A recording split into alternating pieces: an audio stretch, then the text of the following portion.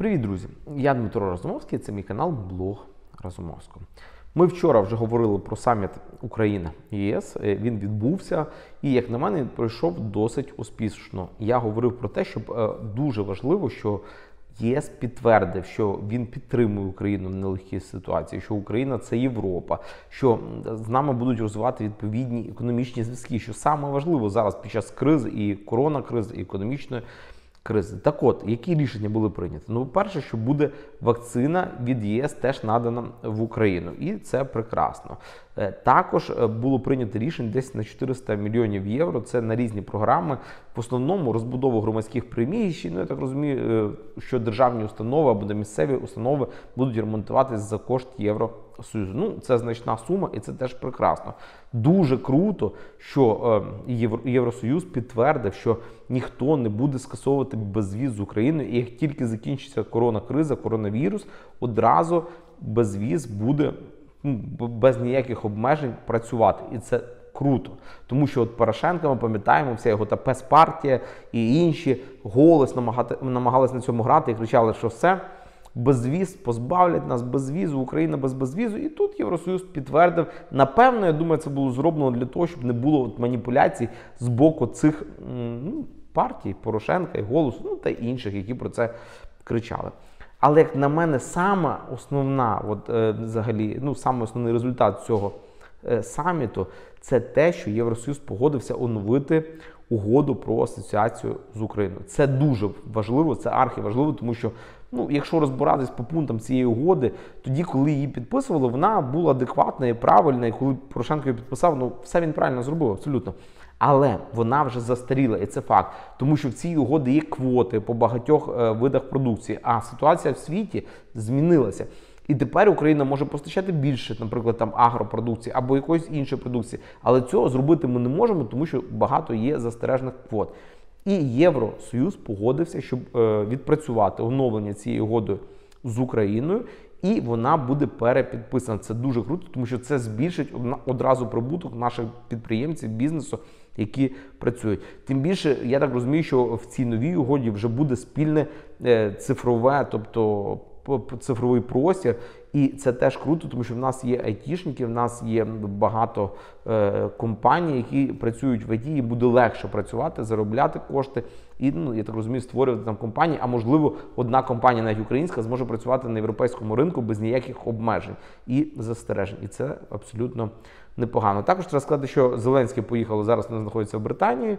Вони вже зустрічалися з членами королівської сім'ї і далі будуть е, підписувати угоди. Я так розумію, з Борисом Джонсоном, прем'єр-міністром е, Британії. І дуже важлива угода. Я не знаю суті, але коли підпишуть, ми побачимо.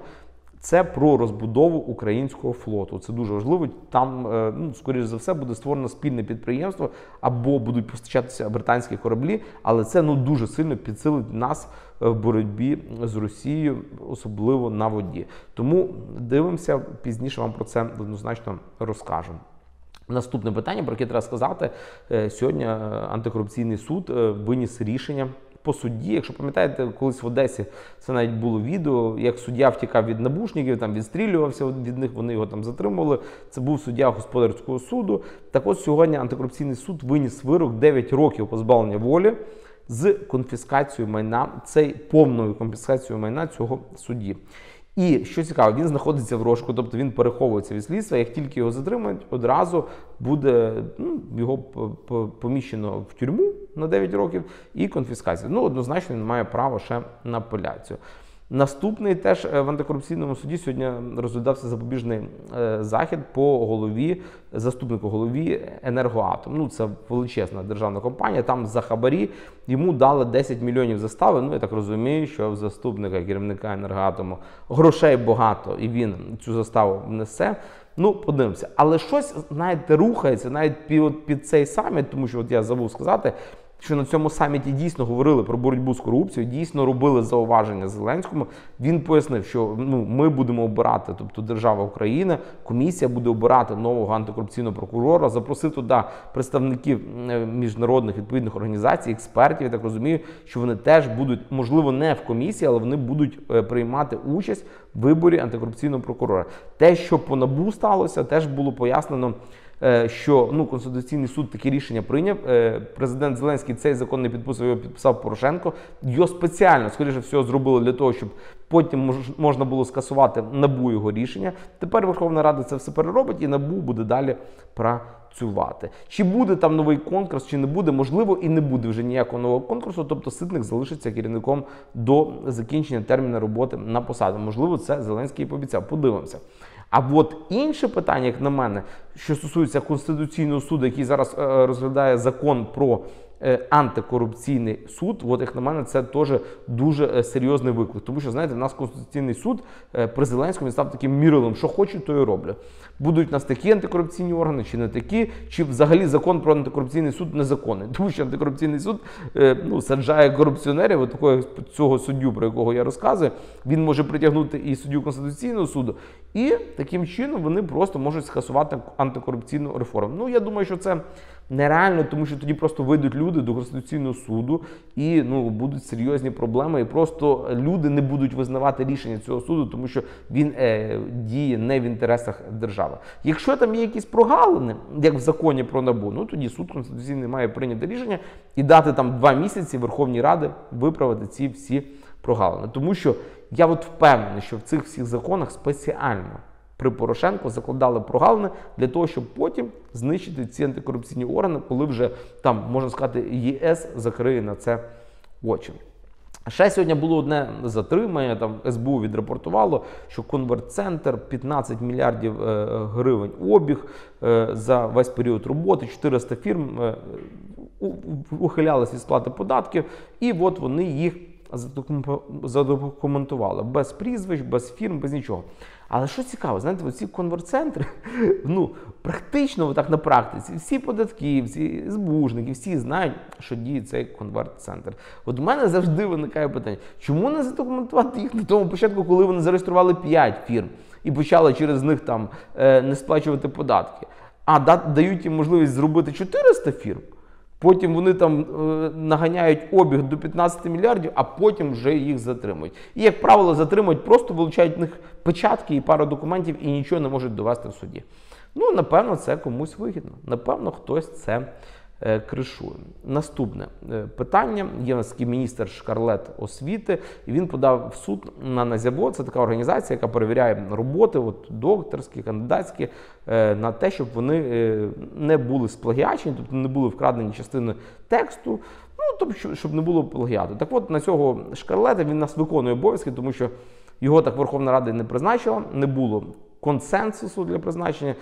Він подав до суду на це назіво, тому що каже, ну що він не може нормально працювати, тому що постійно вони там дають якісь заяви по його роботі, е, докторській чи кандидатській, і постійно його звинувачують в плагіаті. Навіть міжнародні експерти перевіряли його роботу і визнали, що вона на 87% сплагіачена. Але суть чого? Що ця організація назіво, вона має право тільки ну, якби давати дорадчу таку штуку. Вони кажуть, що це е, ну, типа, дорадча така штука, що дійсно в нього сплагіачна робота. Але це ні до чого не е, заставляє цього шкарлета щось там приймати якісь міри, чи кабінет міністрів його звільняти. Нема такої норми в законодавстві. Просто по факту кажуть, що от, е, ну, дорадча функція наша така, що дійсно це плагіат. А ви там собі приймаєте рішення, що з ним робити. Хочете нічого не робіть, хочете щось робіть.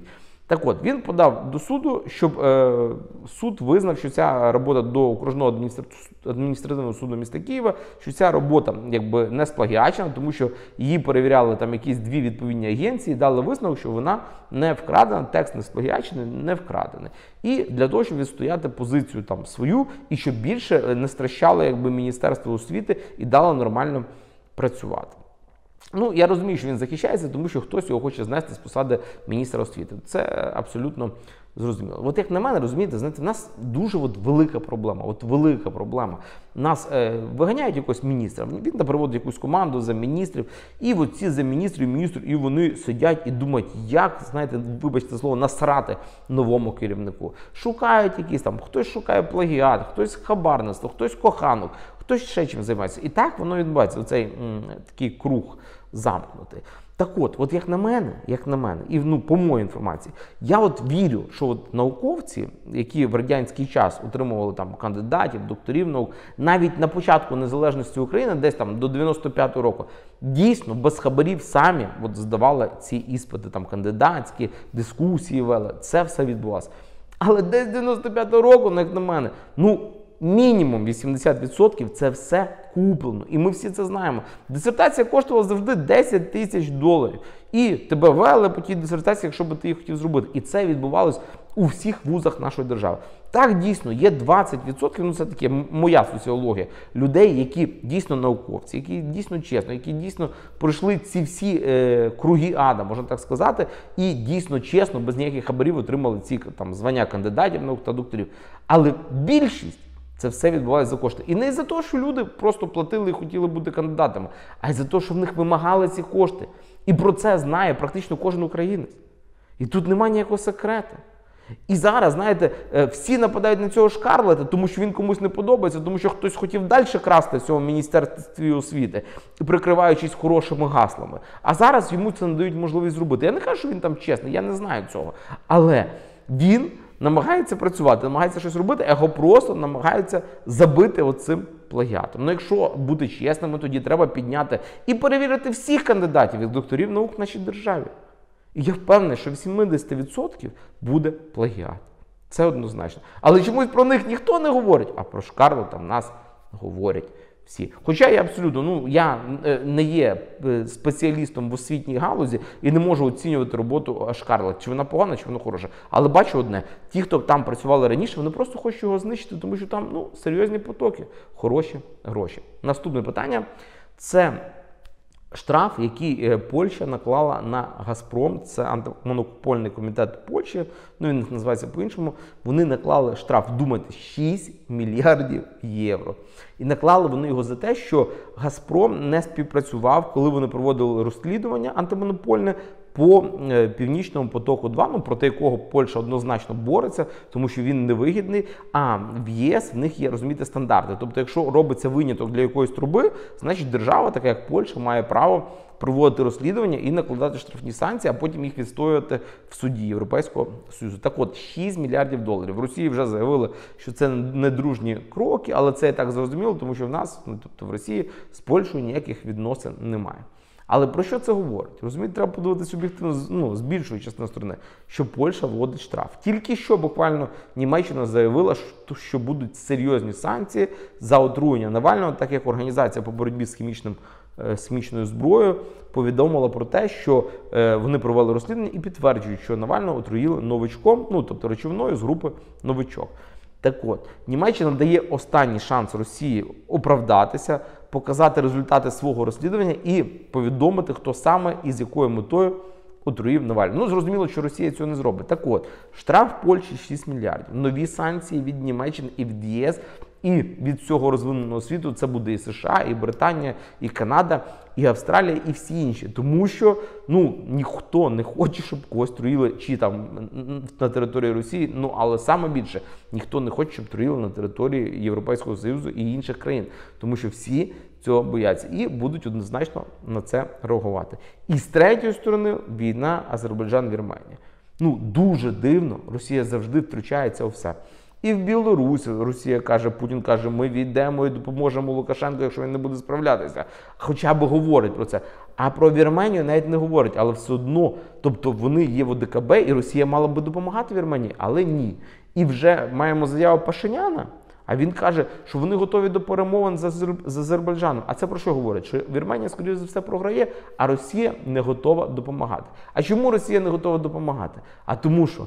Е, Північний потік, скоріш за все, вже не буде добудований. Ну і тим більше ми бачимо, що якщо він і буде добудований, то зараз Польща е, веде штраф 6 е, мільярдів євро і буде відстоювати його в Європейському суді.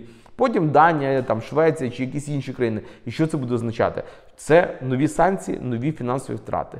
Євросоюз, санкції за Навального. Ще ситуація в Білорусі абсолютно незрозуміла. І за Білорусь можуть ввести санкції. Якщо Росія туди полізе, там теж будуть санкції, які будуть дотичні до Росії. І якщо зараз ще Росія полізе в Вірменію, то однозначно зі сторони Туреччини і всього розвинутого світу можуть виникнути санкції і за Азербайджан, за Нагорний Карабах. От така от ситуація. Дуже, як на мене, е, для Росії неприємна, і тому зрозуміло, от зараз стає з того, чому Росія не йде воювати за Вірменію, чому Росія от, ну, практично віддає ініціативу е, в руки Азербайджану і президента Алієва. От така от ситуація. Тому слідкуйте, контролюйте. Завтра в нас буде стрім в 7 вечора. Там буде більше тем, буде е, більше обговорення. Основне, приходьте, задавайте запитання в коментарях. А з вами був я, Дмитро Розмовський. Будьте здорові та підписуйтесь на канал.